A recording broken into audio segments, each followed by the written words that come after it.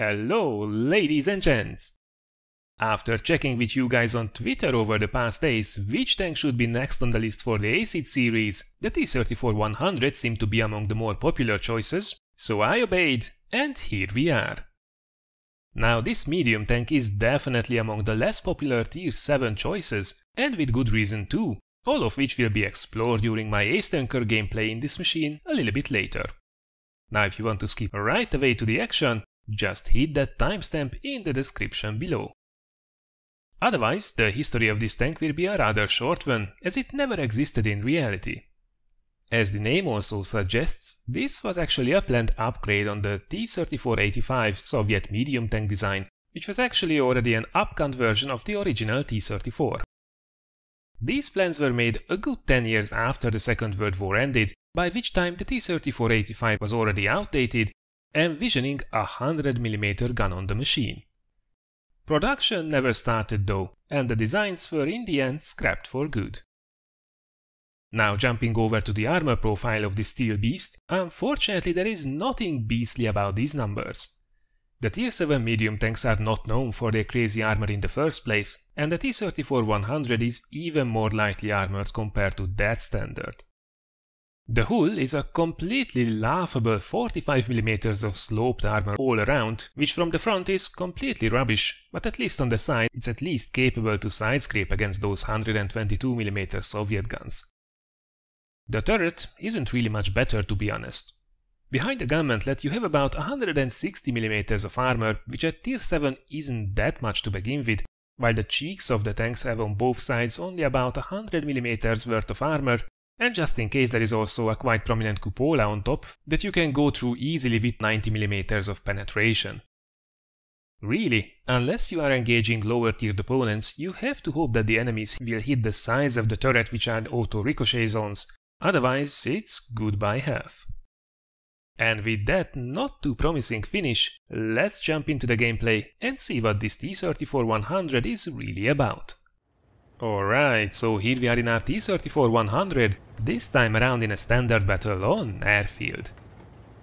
Now before we start to look at the details of this Czechoslovakian Tier 7 medium tank, let's just have a look at what we got ourselves into and, well, it doesn't really look great, does it?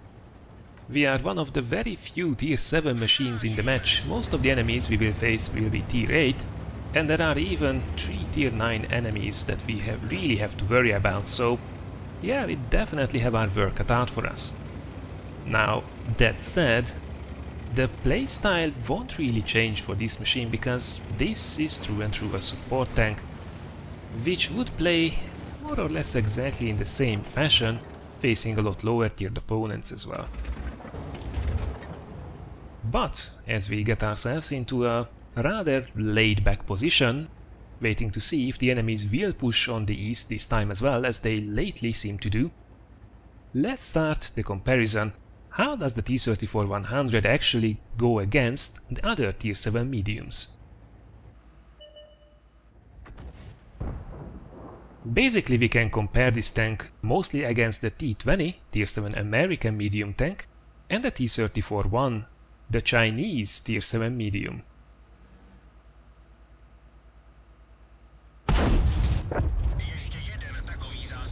All three of these tanks are relatively mobile support tanks that have a rather punchy gun but limited DPM.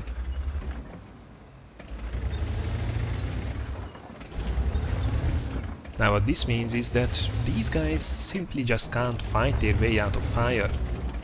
If you can use them well however, the on average 175mm of penetration and 250 average damage per shot will stack up quite nicely over time. What I tend to find with my T20 for example is I'm able to do quite a bit of damage even if I'm not able to do it quickly.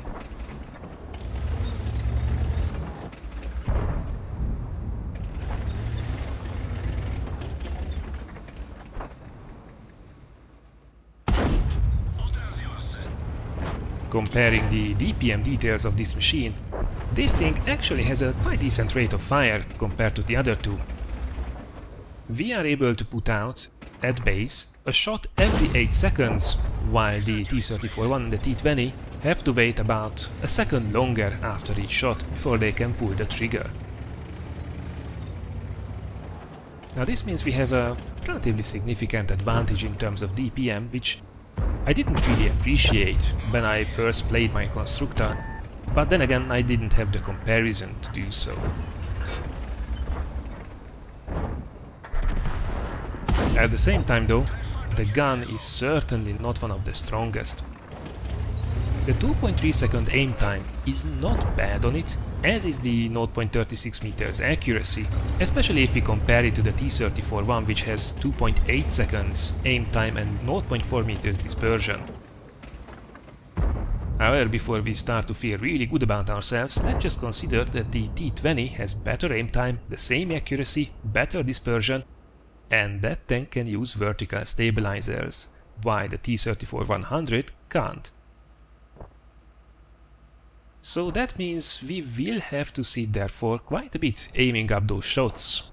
And that can be a little bit of a problem if we want to play a more active role. If we are getting lucky with our shots like that, well, that certainly uh, helps. Now something else that's a little bit annoying, or actually quite a bit annoying about the gun is that we only have 5 degrees of gun depression. Again, the T20 has double than that.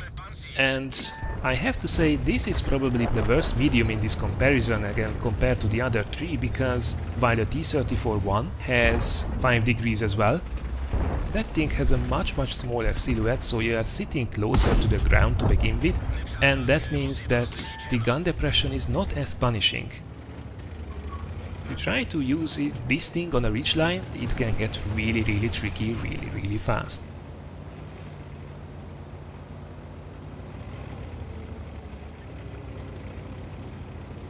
We already discussed that the armor on it is pretty much negligible. What about the mobility? Well, we have a quite good top speed at 54 km per hour. However, our power to weight ratio is the weakest of the three once again, about 15.4 horsepower per ton, which is not great. At least we have quite decent terrain resistances. Still, overall I would say once again that T20 takes the prize in that regard as well. So overall, T-34-100. As long as you don't try to do something with it that it's really not good at, and try to stick to a supporting role for most of the match, you actually will have a decent time with it just really have to learn the locations which you have to avoid because, well, your gun depression just simply will make it useless. If you can avoid getting too much attention and love from the enemy team, the rate of fire, combined with the punchy nature of the gun, can actually bring you a rather sweet result. And if you are able to do that reliably, about 2000 damage per game should be able to achieve really similar to what I can get in the T20 as well.